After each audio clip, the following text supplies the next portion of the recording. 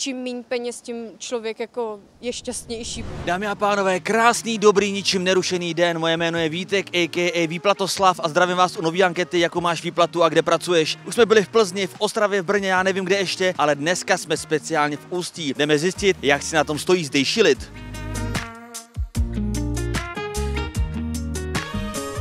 Kde pracuješ? Sekáme, děláme ploty, staráme se prostě o vodárny a okolí. OK, takže ty jsi jako dá si zahradník. A tady v ulici Pařížská v kadeřnických potřebách. Pro kadeřnice vlastně jakože věci. Momentálně na krajském úřadě. malíř a maluju v Praze. Jako v obrazy nebo pokoje? Eh, Pokoje. Prosím vás, šáhněte mi na vlasy, jestli mám správný ten, protože já to mám hrozně, vidíte, to je takový, takový k ničemu.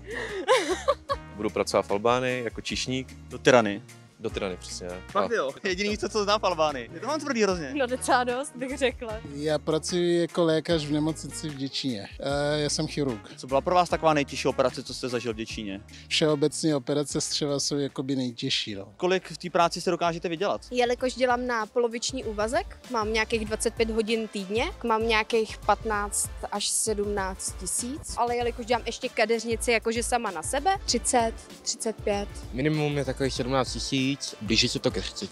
Takže teďka je tvoje sezóna, ne? Ale teďka léto, přichází léto, takže budou, budou many. Samozřejmě. Zatím jsem tak jako méně než průměr vlastně mzdy v České republice. Hm, tak to se mi toho teda řekl. Já nevím, dejme tomu těch 20, 30, podle toho, podle toho, jaká je zakázka, no. Na 20, no asi, ale tak doufám, že budou dýška, ale tak to je spíš jako zkušenost, že to, že to nebudou jako, že bych tam měl vydělat nějaký velký peníze, ale jako spíš ta zkušenost, jako no.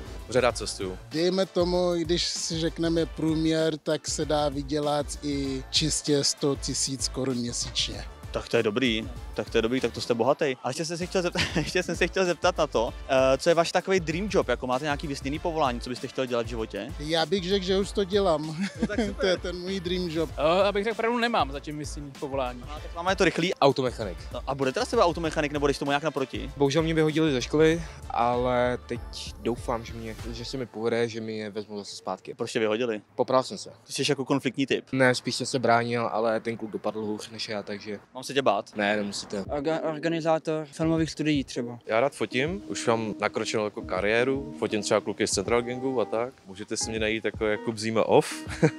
fotím právě nějaké portréty, svatby, BTS, když se natáčí nějaké klipy třeba. Svůj vlastně studio a uh, učit vlastně aštanga jogu. Tanga? Aštanga yoga, to je vlastně druh jogy vlastně. Chtěla bych být joginka a přecvičovat pro lidi.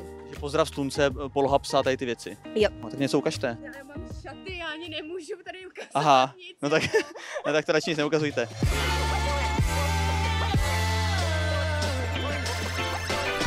Tvoje dream výplata, co jsou takový vysněný peníze, že to by se ti fakt jako žilo dobře mít měsíčně, kolik by to bylo? Okolo těch 35, 40 tisíc, no. O, myslím si, že těch 50 třeba čistýho si myslím, že je tak optimální na dnešní dobu. Mějte se hezky a jestli poběžíte, tak nezakopněte. Naschledanou. Tolik peněz tak, abych se vystačilo na to, abych se postaral o své rodině. To může být klidně milion měsíčně. To ani není můj sen mít spoustu peněz. Čím víc člověk má, tím víc utrácí. Takže dejme tomu těch 50, 100 měsíčně, ani ne. Ta stovka by byla fajn, teďka v dnešní době, když je všechno drahý, Já nejsem zrovna jako typ člověka, co by potřeboval nějak jako moc peněz. Čím méně peněz, tím člověk jako je šťastnější, li, jako peníze lidi jako kazej, charakter a tady ty věci. Říkám 15 tisíc si myslím, že je úplně ideální jakože výplata pro člověka, aby se jakože neskazil svým způsobem, všechno poplatí, co má, jídlo nemusí se přežírat, když teda neberou drogy a tady ty věci, tak jako by jim to mělo úplně bohatě stačit.